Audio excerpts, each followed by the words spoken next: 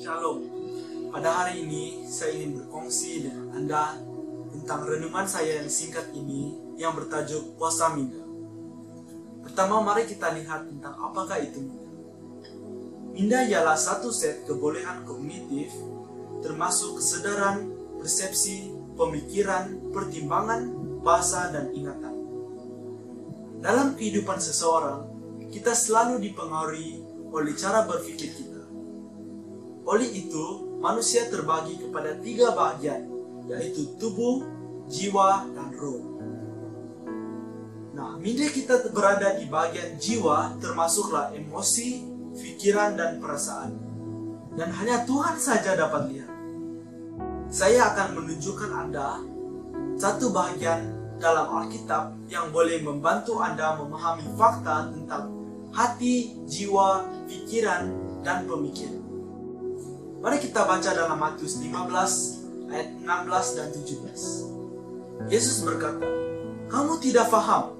Tidakkah kamu mengerti apa yang masuk ke dalam mulut seseorang turun ke perut lalu keluar semula? Sebaliknya, apa yang keluar dari mulut datang dari hati. Dan inilah yang menajiskan. Dari hati timbul pikiran jahat yang mendorong seseorang membunuh, berzina, berbuat cabul, mencuri, memberi kesaksian palsu, dan memfitnah.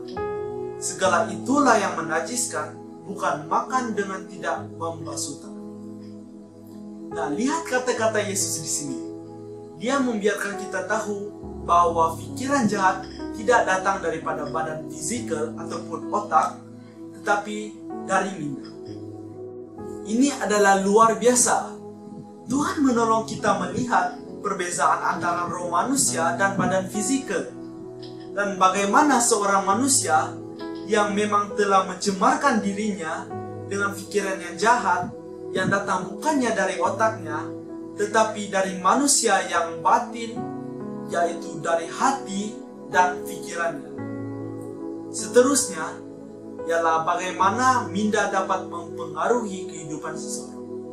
Mari kita lihat dalam Roma 12 ayat 2. Janganlah ikut cara dunia, sebaliknya berubahlah menurut pembaruan pikiranmu. Dengan demikian, kamu dapat memastikan apa kehendak Allah itu, apa yang baik, yang diredainya, dan yang sempurna. Saudara-saudari yang dikasihi Tuhan, firman Tuhan selalu mengingatkan kita agar kita tidak menjadi manusia yang tamak, sombong, dan mementingkan diri sendiri. Perkara ini berlaku apabila kita menggunakan minda kita untuk berpikiran negatif. Nah, apabila kita menggunakan minda kita untuk berpikiran negatif, di situlah iblis mengambil kesempatan untuk menghasut kita dengan melakukan perkara-perkara yang jahat.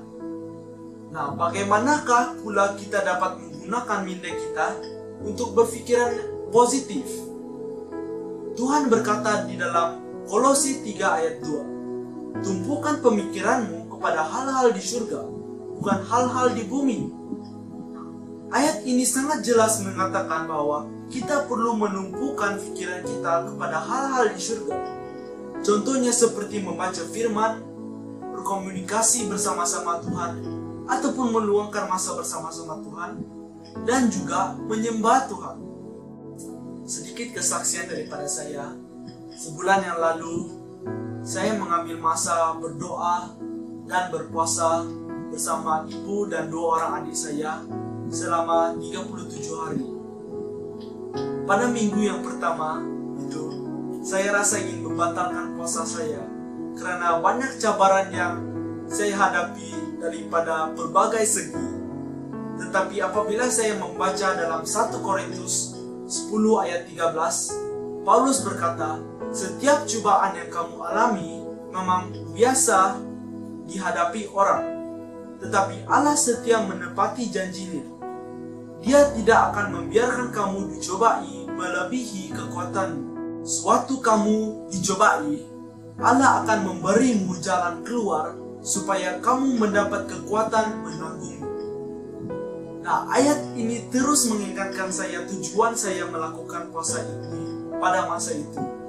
Sekaligus menukarkan mindset saya agar tidak lagi menumpukan pemikiran saya kepada hal-hal di bumi.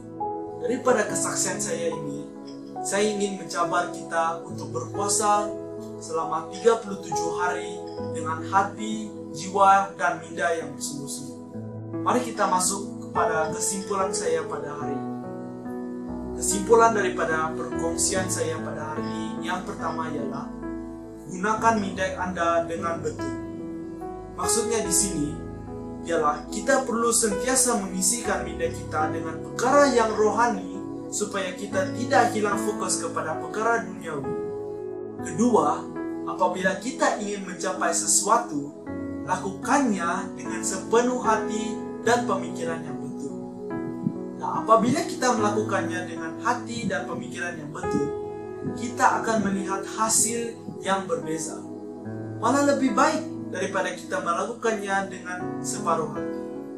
Mari kita berdoa. Bapa, kami ingin bersyukur Tuhan karena Engkau telah memberikan kami bintang untuk berfikir. Dan Tuhan, kami juga ingin uh, Engkau mengampuni kami Tuhan atas dosa yang kami telah lakukan. Karena selama ini kami silap menggunakan benda kami Tuhan.